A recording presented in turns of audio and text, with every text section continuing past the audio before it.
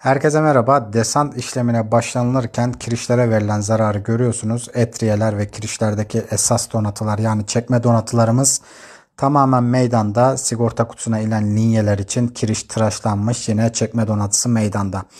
Bunu önlemenin aslında çok basit bir yolu var. YouTube ve Instagram kanallarımda buna dair çok video var. Bakın yukarıdan arkadaşlar planşe yapılırken yeşil borularımız var. Tavanda 16'lık boru kullanıyoruz. Bunun ucuna kirişe bu borular çivileme yapılırken ucuna 18'lik manşon niyetine boru kullanıyoruz.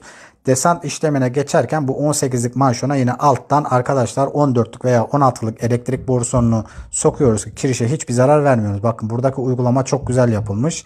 Evet diğer kısma geçelim. Bu da benim YouTube kanalımdaki video. YouTube kanalımda bir tanıdık abone olabilirsiniz. Yeşil borular yine bizim tavandan gelen borularımız 16'lık.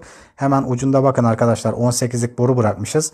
Altına hemen buat ineceğiz. Alttan 14'lük veya 16'lık boruyu bu kahverengi boruya sokacağız. Kirişe hiçbir zarar vermeden desant işlemini tamamlayacağız. Bu mükemmel bir çözüm.